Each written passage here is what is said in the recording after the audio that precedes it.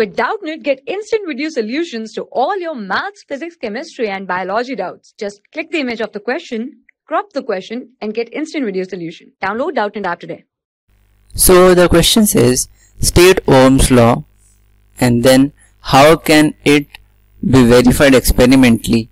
Explain with the help of a circuit diagram and express the result graphically. So first of all let us write what is Ohm's law. Ohm's law.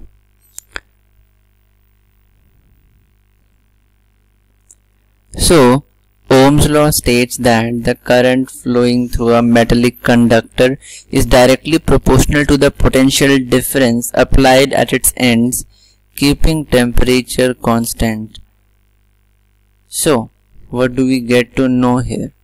The potential, the current flowing is directly proportional to potential difference which is V. Now, if we remove the proportionality sign we have to write a constant which is r so this is how we get the formula v is equals to ir where r is the proportionality constant which is also called resistance and it is independent of V and I. Resistance is the property of a material. So, we have stated the Ohm's law. The next is how can it be verified experimentally? Explain with the help of diagram. So, let's go to the diagram. So, the circuit diagram is as follows. This is the battery. This is the ammeter. This is the resistance and this is the voltmeter. As we increase the V, because it is proportional to I, current also increases, but R remains constant.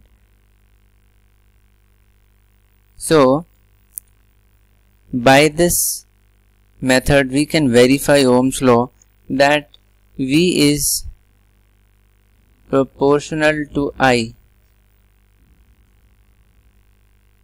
and the star point is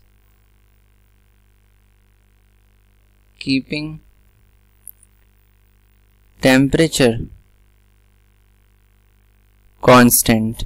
Now graphically we can write it as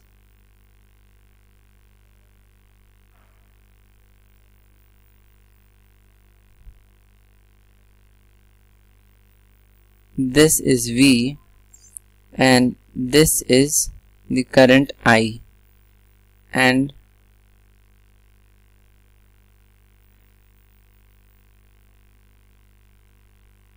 this is the slope of Vi because V is directly proportional to I. We get a straight curve and the slope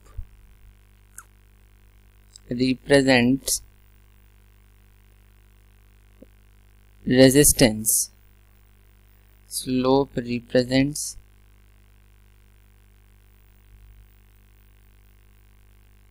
resistance so by this method we can verify Ohm's law and we get the graphical representation as follows Thank you. For class 6 to 12, IIT JEE and NEET level. Trusted by more than 5 crore students. Download Doubtnut App today.